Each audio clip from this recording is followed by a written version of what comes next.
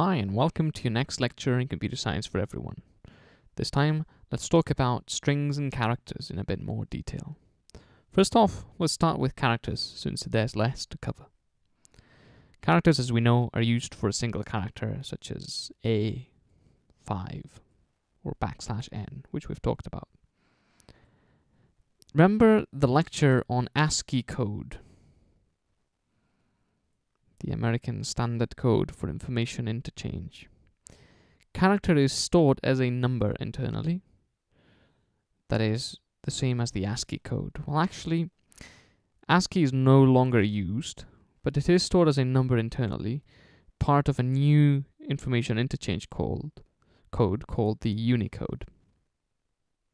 So indeed, we can only have up to 65,535 characters, and this is the Unicode set.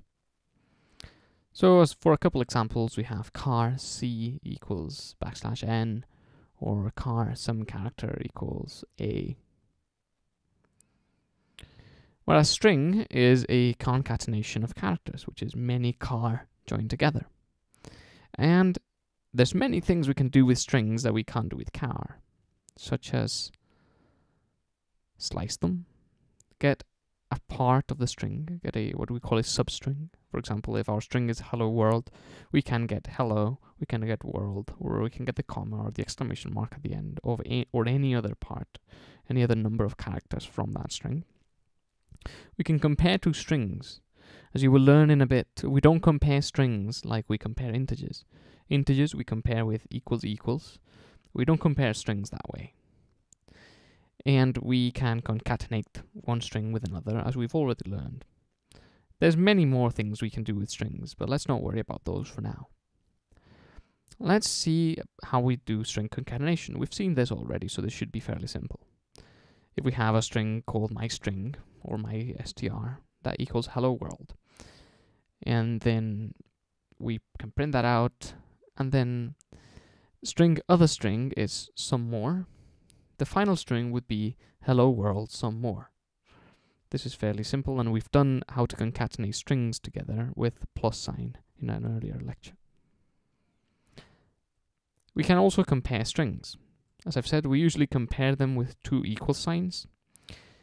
And what is going to come now is an explanation of why we compare some things with equal signs and why we compare some things without the equal signs.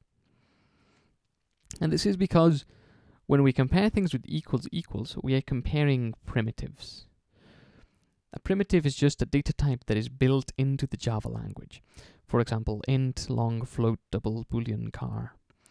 And if you go onto Eclipse, you will see how um, they are colored in purple when you write int, long, float, double, boolean, or char. However, string is not colored in purple. This is because strings are not primitives. They are not built into the Java language. They are objects. Just as we created our class dog, there is a class string that holds functionality regarding strings. This is why we don't compare strings with equals equals.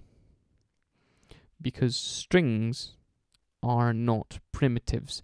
The value of the string, the hello world part of the string, isn't something that is inherent to the string. It is a property inside the object. So this is why strings are not colored in purple in Eclipse. And this is why we don't compare them with equals equals. We instead compare them with a method that is inside the string class. And this method is equals. Um, and this method takes the string with which we are comparing the other string, just like so. Let's say we have a string called mystr, and this equals hello world and then some other string, which equals some more. In order to compare both, we would say, let's call the equals method of mystr by doing mystr dot equals, and then compare mystr to the other string. This will return either true or false, as we've seen, the method can return values.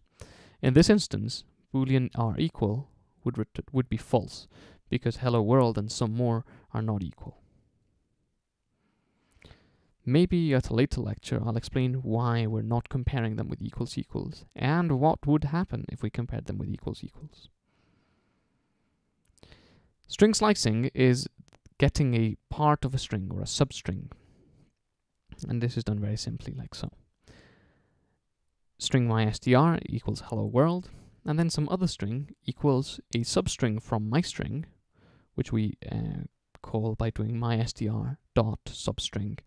And then between the two brackets, we have the starting index and the end index. So here we start in character 0, which is the uh, uppercase H, and we go up to the uh, character number 5, which is lowercase o.